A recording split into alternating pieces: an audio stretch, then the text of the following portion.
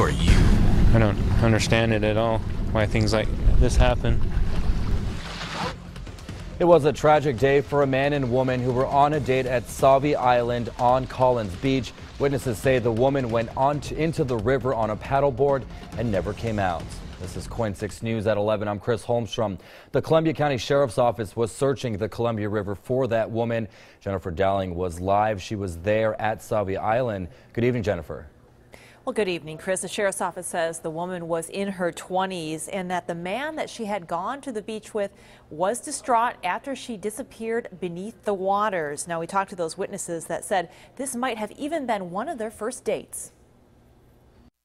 You're having a blast. A beautiful day at Collins Beach took a terrible turn after witnesses said a woman somehow got separated from this blue-green paddleboard in the river. She uh, was swimming, trying to swim toward her board. However, Marcus Lamoureux and a woman named Jacqueline, who didn't want to be fully on camera, said they soon realized she was in trouble. She was bobbing her head and like her arms were flailing. and I was about to swim out to her. Jacqueline said she was at least 100 yards out with no life jacket. The board was going by itself on down here and even though Jacqueline had saved lives before as a rescue swimmer, she could only watch the boats arrive feeling helpless as her boyfriend stopped her from jumping in due to conditions in the water. The currents is too strong and she just kept trying to get to her board and people out here finally started to notice and started to head out to try to get to her and by the time they got to her that uh, she'd gone under.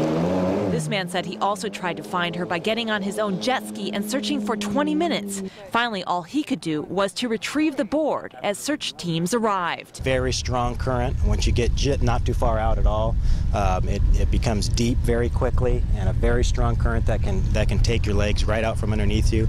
Very important to wear a life jacket. Jacqueline said later she tried to comfort the man who had gone to the beach with the woman. It was a date, yeah. She said they had just met online. And he's definitely in shock. It's so frustrating that we can't fix it. We need to find her family as soon as possible because she's missing.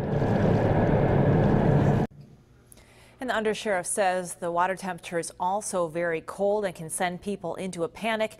That can send them under the water as well. Again, this emphasizes that you should wear a life jacket and protect yourself and your family with a flotation advice when you head to the beach. Now, the sheriff is also working to notify the woman's family as that recovery effort continues. Back to you, Chris. Yeah, it's important to always wear that life jacket. Jennifer.